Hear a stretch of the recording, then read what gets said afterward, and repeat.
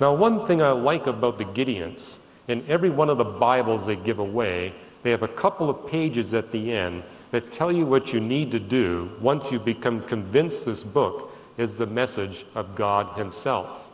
And uh, I read those two pages, and it starts off by saying that you, the reader, are not perfect, but God demands perfection, and the proof of that is your conscience.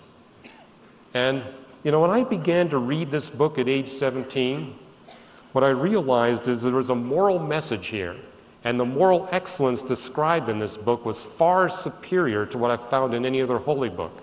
Every holy book has got a moral message, but this was far beyond uh, the messages I saw in the other books. And at age 17, I said, I want to live up to that moral standard. It's such a beautiful standard. And I did everything I could to live up to that standard. But the harder I tried, the more miserable I felt. And now the Gideons were explaining to me why I felt so miserable. He said, That's God's tool to convince us that God's standard of moral performance is one of perfection, and we don't have it. The harder you try, the more our conscience reacts to convince us we fall short of God's standard.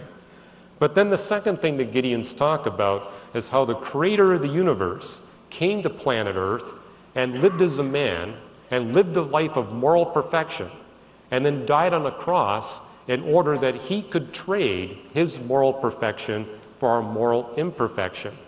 And when I read that, my mind harkened back to a few chapters in the book of John, where Jesus of Nazareth stood in front of an audience as large as this and declared to the audience that he was morally perfect. And in the front row was his mother, his four brothers, and his sisters, and they all agreed he was morally perfect. I said, That's proof enough for me. You're not going to fool your mother. There's no way I could say that to my mother or my sisters. But he did, and they agreed and said this man really was morally perfect. And then, you know, the Gideons don't let you off the hook. They got a place where you can kind of sign your name and uh, date it. And basically, it makes that offer. Do you want to trade your moral imperfection for the perfection that Christ offers based on his death on the cross? And are you willing to uh, put Christ in charge of your life? And they made a little statement there that really caught my attention. Jesus is the perfect one. Jesus is the one that knows everything.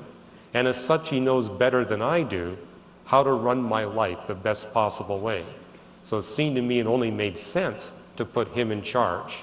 And then finally, the Gideons make this little statement reminding you of verses in Ephesians and elsewhere that when you make that commitment, God sends His Holy Spirit to step by step give you new power and new desire to live the Christian life. And so I eagerly sign my name.